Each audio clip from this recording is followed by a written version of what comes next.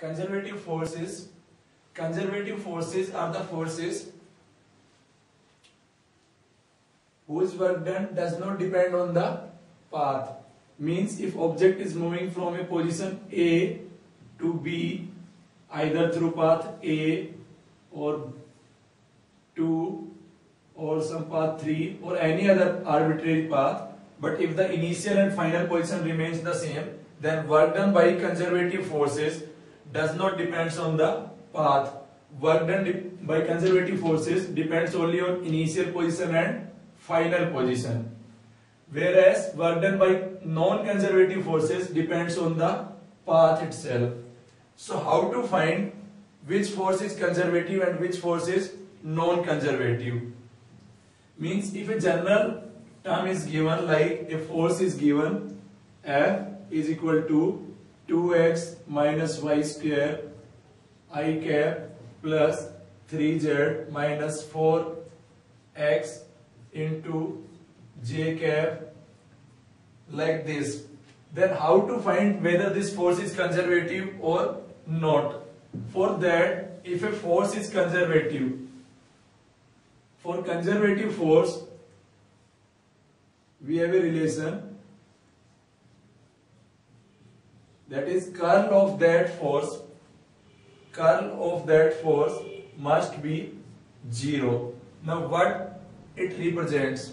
This can be written as i cap j cap k cap del by del x del by del y del by del z fx fy fz now this symbol if we are writing del by del x it means partial derivative.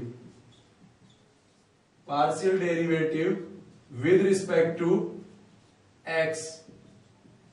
Now what it mean by partial derivative?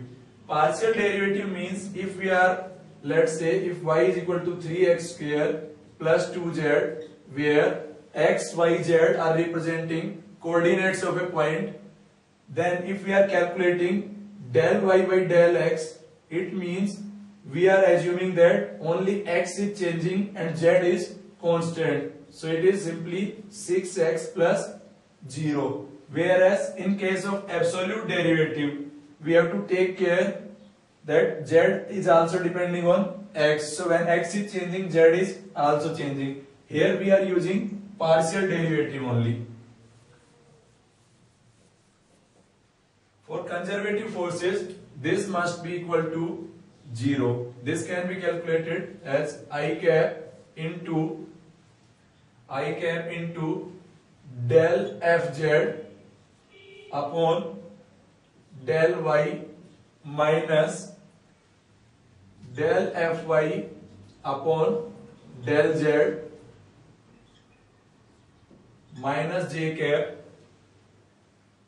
we have del fz upon del x minus del fx upon del z plus k cap this term del fy upon del x minus del fx upon del y is equal to 0 so we can say that in short if del fz upon del y is equal to del fy upon del z del fx upon del z is equal to del fz upon del x and del fy upon del x is equal to del fx upon del y. If these are valid, means if for a given force these three relations are there, that force is a conservative force. We can visualize it with the help of an example. Let's say force is 2x minus 3y i cap plus 4y square minus 3z j cap so in this case we have fx is equal to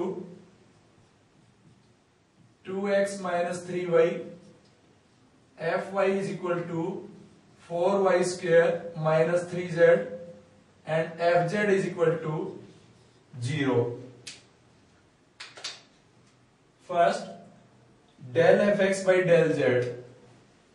Del fx by del z it is 0 because there is no term containing z. We are assuming x and y constant while differentiating differentiating fx with respect to z. So it equal to del fz upon del x del fz upon del x is also equal to 0 because fz is 0. So this relation is valid.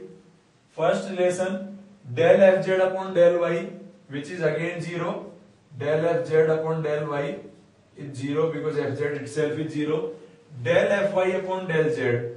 Now del fy upon del z is equal to first term 0 minus 3. So this is minus 3. This relation is not applicable for this force. It means this force is a non-conservative force.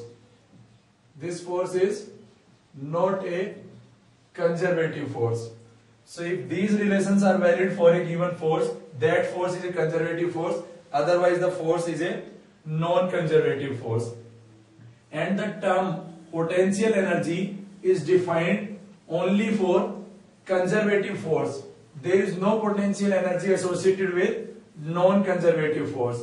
So the relation between potential energy and the conservative force F is equal to minus du by dr or we can write du is equal to minus F dot dr. So rather writing like this we have minus F dr cos theta.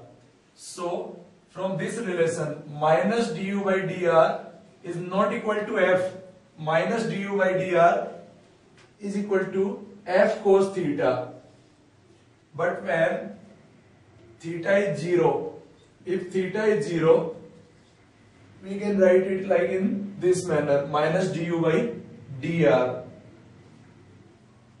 Now from this relation minus du by dr this relation we have du is equal to minus fx dx plus fy dy plus fz dz. Or we can write force in terms of potential energy and force is minus del u. This is known as gradient and here negative gradient of potential energy is equal to force. This relation can be written as F is equal to minus del u by del x into i cap plus del u by del z del y into j cap plus del u by del z into k cap. It means if potential energy is given in terms of x, y, z Cartesian coordinate, we can find out the force by using this relation. If only one dimension is there, means if force is existing in only one dimension and displacement is also in one dimension, then for one dimension one dimensional case we can simply write for one dimensional case we can simply write f is equal to minus du by dx. If on increasing x means if x increases if on increases x u also increasing. This implies f is negative Negative means force is attractive. If on increasing x or let's say on increasing x u decreases this implies f is positive or we can say force between the two particles is repulsive one alternatively if on decreasing x u decreases force is negative if on decreasing x u increases force is positive so from the observation we can find out whether the force is attractive one or repulsive one. Apart from this we can, also find out the state of equilibrium. Previously we have studied we have three type of equilibrium. Stable equilibrium, unstable equilibrium and neutral equilibrium. In all type of equilibrium force is zero that is du by dx is zero but in stable equilibrium, potential energy is minimum. In unstable equilibrium, potential energy is maximum. And in neutral equilibrium, there is no change in potential energy. So their corresponding graph for stable equilibrium, if we plot a graph between u versus x, then for stable equilibrium, the graph will be like this one. And this position is this position is equilibrium position. And this is stable equilibrium. For unstable equilibrium the graph between u and x is like this one this is position of equilibrium and this is unstable equilibrium. For neutral equilibrium there is no change in the potential energy and the potential energy curve is a straight line means potential energy is not changing by displacing the particle. Analogy can be taken let's say a particle is placed in a curve like this in this case particle is placed on a curve and in this case particle is placed here. So when particle is placed here and it is displaced by small amount in either direction, the particle will eventually come to its initial position. It means stable equilibrium. In unstable equilibrium, let's say particle is placed here. If particle is displaced from its equilibrium position in, in either direction, particle will not going to come back its original position again. So this is unstable equilibrium. Net force is, is zero, but maximum energy is uh, potential energy is maximum here and potential energy is minimum here. In this case, if particle is placed somewhere at this point and if displaced by small small amount in either direction, it will retain the new position. So stable equilibrium, unstable equilibrium and neutral equilibrium. We can define them on the basis of potential energy. But remember, potential energy is associated to conservative forces only. If the forces are non-conservative, then we cannot associate a potential energy for them and for non-conservative forces, the equilibrium equations are different. But here we, we will concern about only conservative forces because spring force, gravitational force and the electric and magnetic force, the major forces which are which we are going to study are conservative one. So we will use these result in future.